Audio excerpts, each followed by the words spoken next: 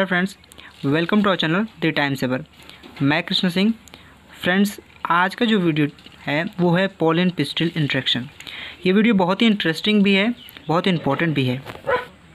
क्योंकि कैसे मेल और फीमेल पार्ट एक दूसरे से इंटरेक्ट करते हैं और आगे की प्रोसेस कैसे होती है। दरअसल पोलन हमने जितने भी चीज़ें पढ़ी, वो फर्टिलाइजेशन से पहले चीज़ें पढ़ी एजेंट्स के बारे में पढ़ी, सारी चीज़ों के बारे में पढ़ा। अब हम लोग को पढ़ना है कि अब पोलन जब स्टिग्मा पर फॉल कर जाता है, तब प्रोसेस क्या होती है? उसी टॉपिक को हम लोग करना है पोल एंड पिस्टल इंट्रैक्शन तो वीडियो की इन तक बने रहिए वीडियो को बिना स्किप किए पूरा देखिए। मैं आपको इससे रिक्वेस्ट करना चाहूँगा कि अगर आप चैनल पर नए हैं तो चैनल को सब्सक्राइब कर लीजिए और नोटिफिकेशन बेल प्रेस कर लीजिए ताकि आपको मेरे फ्यूचर वीडियो की नोटिफिकेशन मिलती रहे।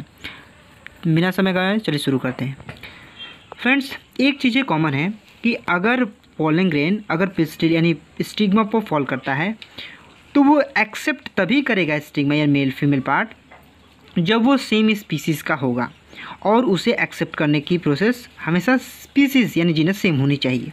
अगर वो अलग होगी, क्योंकि ये ज़रूरी नहीं कि एक सेम स्पीसीज़ या किसी भी स्पीसीज़ वो सेम स्पीसीज़ पे ही क्या हो पोलेंग्रेन जाकर फॉलो क्योंकि एजेंट्स कुछ भी हो सकते हैं, वो चाहे नॉन लिविंग हो सकता है लिविंग हो सकता है, उसे नहीं पता है कि स्पीसीज़ सेम है या नहीं है। तो रिजेक्ट करने का प्रोसेस यही हो सकता है कि वो स्पीसीज़ सेम ना हो। अगर स्पीसीज़ सेम हुआ तो कैसे एक दूसरे में म्यूचुअल अंडरस्टैंडिंग होती है, आइए समझते हैं। अगर मान लेते हैं कि अगर स्पीसीज़ दोनों की सेम है पोलन भी सही है और पिस्टल भी उन्हीं दोनों का स्पीसीज सेम है। तब क्या होगा? जैसे ही वो स्टिग्मा पर फॉल करेगा, ये स्टिग्मा सिक्रेशन करेगा। क्या करेगा? सिक्रेट करेगा। क्या सिक्रेट करेगा? बहुत ही इंपॉर्टेंट चीज़, एक शुगर और एक वाटर यानी वाटर एंड शुगर बहुत ही अमाउंट्स में उसे क्या करेगा? उसे सेक्रेट करेगा। सेक्रेट करने के बाद ये जो पोलन होगा, यानी पोलन ग्रेन एब्जॉर्ब करेगा। एब्जॉर्ब करके अपने साइटोप्लाज्म की स्पेस को बढ़ाएगा और न्यूट्रिटिव मटेरियल का काम करेगा। ये किस रूप में काम करेगा? न्यूट्रिटिव के रूप में काम करेगा ताकि वो अपने साइज़ को इंक्रीज़ करके अच्छी तरह से रेडी हो जाए। किस चीज़ करने के लिए? क्या चीज़ करने के लिए?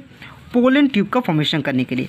और आपको ये दिख रहा है कि इसके पास थ्री जम स्पोर है। एंजियोस्पर्म से मेनली जो होगा, वो उनके पास थ्री जम स्पोर पाए जाएँगे और ये बाहर की लेयर है जो एग्जाइन और अंदर के इंटाइन आइए समझते हैं आगे क्या होगा। अगर वो पोलन ट्यूब का फॉर्मेशन करेगा, कहाँ से? वो जॉम ट्यूब से करेगा, पोलन ट्यूब का फॉर्मेशन अगर वो एक पोर से एक ही पोलन ट्यूब का फॉर्मेशन कर रहा है। मेनली एक ही पोलन ट्यूब सक्सेस होता है, जो पोलन ग्रेन में से न्यूक्लियस को ले जाकर फर्टिलाइजेशन के लिए डन करता है। लेकिन अगर वो ढेर सारे पोलन ट्यूब, यानी देख रहे हैं आपको, एक, दो, तीन जंप पोल है तो ज़रूरी नहीं कि एक ही जंप स्पोर से पोलन ट्यूब का फॉर्मेशन हो हो भी, ये भी हो सकता है कि वो तीनों तरफ़ से पोलन ट्यूब का फॉर्मेशन करे। और इमर्ज करके इस स्टाइल की तरफ़ जाए। तो अगर एक किया तो मोनोसिफोन्स कहेंगे। अगर ढेर सारे पोलन ट्यूब का फॉर्मेशन किया तो उसे हम पोलीसिफोन्स कहेंगे। ठीक है? अब पोलन ट्यूब के बारे में आ गया तो पोलन ट्यूब से जुड़ी हुई चीज़ें समझते हैं। पहला, कि अगर वो पोलन ट्यूब का फॉर्मेशन कर रहा है तो स्टाइल दो तरीके की हो सकती है। एक होलो हो सकती है और एक सॉलिड हो सकती है। इसका कहने का मतलब कैसे हुआ? Growth of pollen tube. होलिड में होलो में होता है कैसा और सॉलिड में कैसा होता है? आइए समझते हैं होलो और सॉलिड है क्या? ये स्टाइल की कैपेसिटी को बता रहा है कि स्टाइल कैसा है? होलो है या सॉलिड है? यहाँ पर मैं लिखता हूँ स्टाइल आप समझते हैं कि होलो कैसा दिखता है सॉलिड कैसा दिखता है। आपको ये दिख रहा है, अगर ये होलो दिखा तो इसका मतलब कि ये जो सेल्स हैं, वो एकदम लाइनिंग पर होगी और बीच में खाली होगा।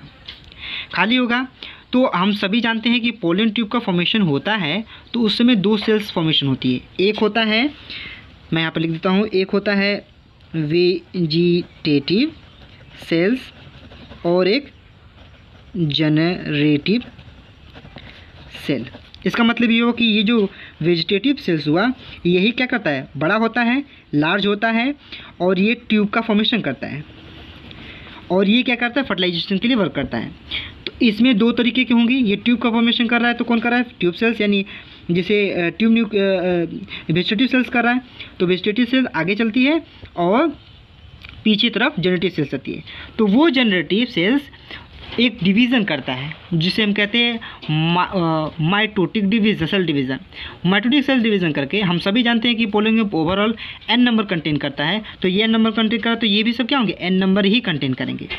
और ये दो मेल गैमेट्स के फॉर्मेशन करते हैं। टू मेल गैमेट का फॉर्मेशन करता है, जिसे हम ओवरऑल एक टू सेल स्टेज भी कहते हैं। पोलिंग का टू सेल स्टेज भी कहते हैं। तो आसानी से इसमें देख सकते हैं कि एक मेल गैमेट इधर और एक नोर मेल गैमेट इधर तो वो होलो स्टिग्मा में या स्टिग्मा से इंटर करते हुए स्टाइल की तरफ़ मूव करेगा और जाएगा किधर? ओवरी की तरफ़ जाएगा। तो ये होलो में था जो वो आसानी तरीके से चला जाता है। लेकिन ऐसा सॉलिड में नहीं होता है। आइए जानते हैं कैसे।